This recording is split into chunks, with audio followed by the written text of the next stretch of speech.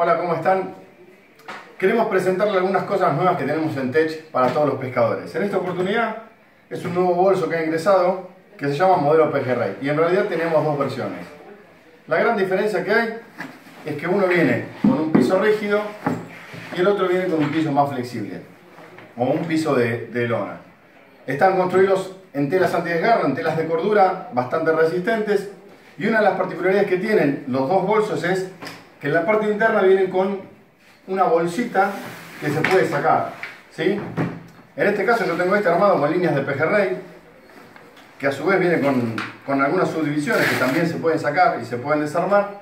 Y si no lo quieren usar para pejerrey y lo quieren usar, por ejemplo, para pescar con señuelos, el tamaño es para guardar cuatro cajas del tipo 3700. En esta caja entran aproximadamente unos 30, 40 señuelos de tararira, por ejemplo, y unos 20, 30 señuelos de dorado. Así que, ya saben, modelo pejerrey, piso rígido, modelo pejerrey, piso blando.